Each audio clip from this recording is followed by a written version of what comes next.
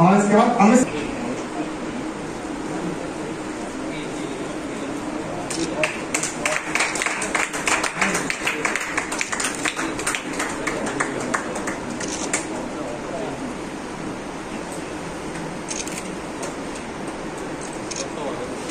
मैं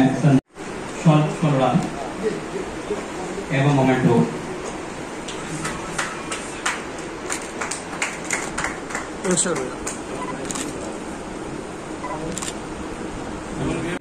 आदरणीय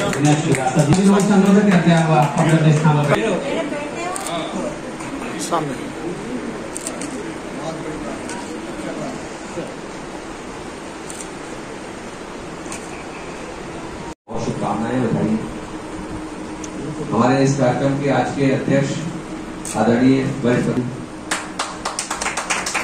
और कार्यक्रम में बहुत से जो विशिष्ट कवि आए हुए हैं, मैं सबका नाम निशक आदरणीय विनय श्रीवास्तव जी, संजय सक्सेना जी, और बहुत से ज़्यादातर परिचित लोग हमारे यहाँ सभागार में बैठे हैं।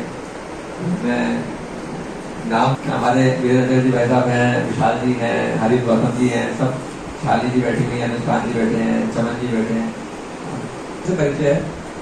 तो हमारा यहाँ कार्यक्रम इस जगह पे कर रहे हैं। हम ये संस्थान, ये स्थान बनाया भी कल्पना जी में आ रही है। ये किसान सरोवर जी, ये हमारे लिए तनख्वाह है।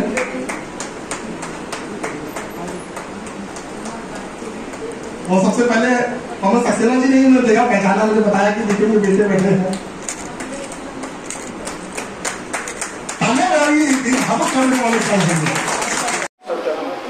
मैं विनय श्रीवास्तव निदेशक उत्तर प्रदेश भाषा संस्थान से आज प्रख्यात गीतकार गीत ऋषि श्री किशन सरोज जी की स्मृति में एक विद्वत गोष्ठी के आयोजन तथा एक काव्य धारा प्रवाहित करने के लिए विद्वत कवियों को यहाँ पर आमंत्रित किया गया है।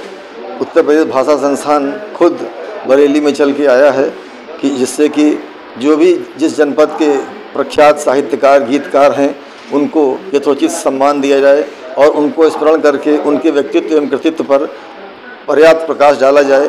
बरेली आज गौरव- गौरवान्वित है कि आज किशन सरोज जी को हम लोग स्मरण कर रहे हैं। उनके, उनकी स्मृति में, उनके व्यक्तित्व, कृतित्व पर, उनकी रचनाओं के संदर्भ में आज हम यहाँ पर एक परिचर्चा और काव्य धारा का आयोजन किए हैं।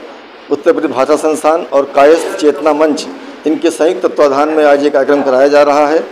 श्री किशन सरोज जी एक प्रख्यात गीत विधा के रागात्मक गीतकार रहे हैं। जिन्होंने 400 से अधिक रचनाएँ की हैं और उन्होंने गीत विधा पर एक मर्म स्पर्शी अमिट छाप छोड़ी है। उसी की स्मृति में, इस भव्य कार्यक्रम में आज बहुत से विद्वतगण पधारे हैं, जिन जिन, जिन्होंने अपने विचार उनके संबंध में व्यक्त किए हैं और प्रख्यात कवियों द्वारा अपनी काव्य धारा प्रवाहित की गई है। धन्यवाद। सर, आज हुआ इस पर राष्ट्रीय आज यहाँ पर डॉक्टर विनोद पागरानी जी के सभागार में, कुछ लोग अस्पताल में, गीत ऋषि और इस देश के बहुत ही वरिष्ठ साहित्यकार, गीतकार आदरणीय किशन सरोज जी की स्मृति में कार्यक्रम हो रहा है। कार्यक्रम का आयोजन उत्तर प्रदेश भाषा संस्थान और कायश चेतना मंच ने किया है। कायश चेतना मंच के अध्यक्ष संजय सक्सेना जी मेरे साथ हैं। और आप देख रहे हैं कि इस कार्यक्रम में शहर के बहुत ही साहित्य प्रेमी लोग, आदरणीय किशन सरोज जी को जानने वाले लोग, उनसे मिले हुए लोग, सारे लोग यहाँ उपस्थित हैं। और किशन सरोज जी एक ऐसे गीतकार थे जिन्होंने वैश्विक पटल पर भारत की हमारे श्रृंगार रस की और हिंदी की पहचान को पुनर्स्थापित किया। आदरणीय किशन सरोज जी से क्योंकि मैं निजी रूप से भी बहुत मेरा उनसे संपर्क रहा और वो अ, मेरे उनके बेटे अमिताभ और मैं एक साथ हम लोगों ने काम भी किया अमर उजाला संस्थान में हम लोग काम करते थे। तो अ, किशन सरोज जी एक ऐसे गीतकार थे श्रृंगार के और प्रेम के गीतकार जिनका लिखा हुआ अमर है। तो आज उन्हीं की स्मृति में हम सब लोग इकट्ठे हुए हैं। जी जी, आज यहाँ पर काफ़ी सारे संख्या में बाहर से भी साहित्यकार और बहुत सारे गीतकार लोग आए हैं।